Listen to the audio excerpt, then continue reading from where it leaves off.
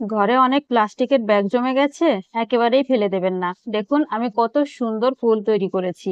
আর এই ফুলের তৈরি করব হার।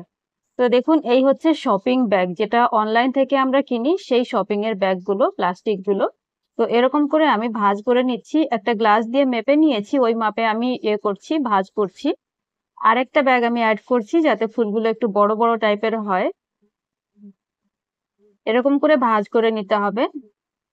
যত বেশি আপনি প্লাস্টিক অ্যাড করবেন, তত বড় ফুল হবে আর কি। তো সেই হিসেবে করবেন, কতটা ইয়ে করবেন। তো এই দুটোতে যথেষ্ট হবে। তো এখন আমি গ্লাস দিয়ে এরকম করে দাগ কেটে নিচ্ছি একটা মার্কার দিয়ে। আপনি গ্লাস নিতে পারেন, ছোট একটা বাটি নিতে পারেন যে কোনো কিছু নিতে পারেন। গ্লাস দিয়ে এরকম একটু বড় সাইজের ফুল হবে আর কি। তো তিনটে দাগ আমি কেটে নিলাম, আর এবার আমরা এই গোলগুলোকে কেটে নেব, কিন্তু কেটে নেওয়ার আগে এগুলোকে ফিক্স করতে হবে।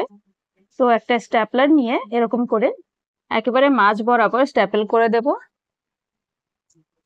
বাকি দুটোতেও আমি এরকম করে পিন করে দিচ্ছি। আর তারপরে আমি কেটে নেব, দেখুন। যেরকম দাগ কেটেছি, গোল করে ওরকম গোল বরাবর কেটে নিতে হবে।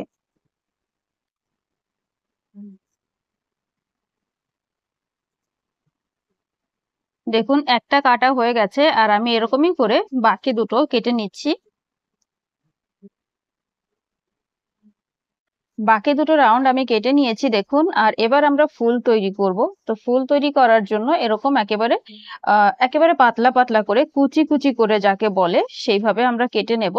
কিন্তু এমন ভাবে কাটবো না যে একেবারে আলাদা হয়ে যায় মানে কেটে বেরিয়ে না আসে। মাঝখানের অংশটা দিয়ে পুরো ফুলটা যেন জুড়ে থাকে, সেইভাবে কাটতে হবে। দেখুন আমি কীরকম করে কেটেছি। আর এরকম করে হাত দিয়ে ভালো করে ফুলে নিতে হবে। এই দেখুন আমাদের ফুল কিন্তু তৈরি। তো এরকম করেই আমার কাছে যতগুলো প্লাস্টিক আছে, সবগুলোর আমি এরকম করে ফুল তৈরি করে নিচ্ছি। তো এই কটা ফুল আমার হয়েছে। এবার চলুন হার বানাতে হবে। তো হার বানানোর জন্য আরও একটা জিনিস লাগবে, সেটা হচ্ছে এই এটা হচ্ছে কটন বার্ড যেটা আমরা কান পরিষ্কার করার জন্য ব্যবহার করি, কান চুলকানোর জন্য। তো এটা আমরা কেটে নেব। আগে পিছের সাইডটা এরকম করে কেটে নিতে হবে। আর চাইলে একটা মানে গোটাও করতে পারেন, শুধুমাত্র আগে পিছের অংশটা কেটে নিলেও হয়। আর চাইলে মাঝখান থেকে টুকরো করলেও হয়। এবার আমি সুই সুতো নিয়েছি। একটু বড় সাইজের সুই নিতে হবে আর কি। এবার আমরা ফুলগুলো গেথে নেব।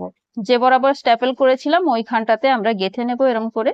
একটা ফুল গেথে নেব আর তারপরে এই যে কটন বার দেখুন, এটা গোটা ছিল, তাই আমি পুরোটাই এরকম করে গেথে দিয়েছি। যেটা দু টুকরো করেছি, ওটা এক এক জায়গায় দু টুকরো করে লাগাতে হবে। তো এরকম করে আমি পুরো মালাটা, পুরো হারটা গেথে নিচ্ছি। দেখুন, অনেকটা হয়ে গেছে। দেখুন এরকম করে যেটা আমি দু টুকরো করেছিলাম, সেটা দুটোই একবারে আমি গেথে দিয়েছি। এবার বেঁধে নিচ্ছি। তো এই হারটাতে যেহেতু প্লাস্টিকের মধ্যে একটু কালো কালো রং আছে সেই জন্য আমি বাইরে শনি ঠাকুরকে মানে বড় ঠাকুরকে পরিয়েছি। দেখুন, এখানে ভেতরে মন্দিরে আছে বজরংবলী আর বড় ঠাকুর। যাই হোক, দেখুন কত সুন্দর একটা হার তৈরি হয়েছে। অবশ্যই এরকম করে তৈরি করে দেখুন।